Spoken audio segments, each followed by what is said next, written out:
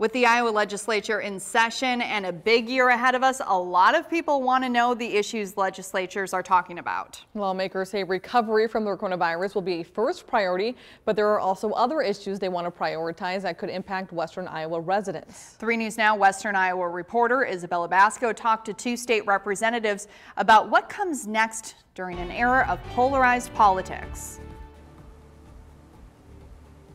Iowa lawmakers are kicking off another legislative session this year, with Republicans holding a majority in both the House and Senate. Will Republicans go head to head with the Democrats, or will there be some bipartisanship? Uh, I go into it with an attitude of uh, I'm not a red district, and so I'm listening to people on both sides of, uh, of the political spectrum as well as the independents. Republican Brent Siegrist is returning to the Iowa House of Representatives after leaving in 2002.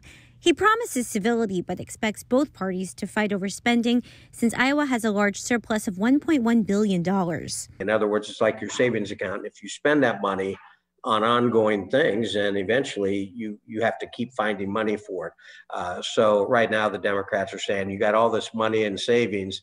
Uh, we need to spend it. Democrat Charlie McConkey is prioritizing providing adequate child care. That's something we need to work on. We've done a little on it but there's no incentive for the companies to you know, the tax breaks we give the companies to establish their own daycare center. Siegrist also has his own ideas on the issue. Child care tax credits or uh, making sure what we call the cliff when you start to make a certain amount of money, your child care support stops and you just fall off the cliff. We got to graduate that uh, so that as you move up in the economic strata, you can you, you still get to receive some child care assistance from the government, but it's less the more you make. Improving workforce initiatives like broadband access in rural areas and ushering a safe return to schools will also be top priorities in the legislature.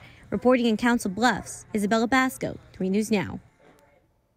Siegrist tells 3 News Now in any given session, a couple thousand bills get introduced.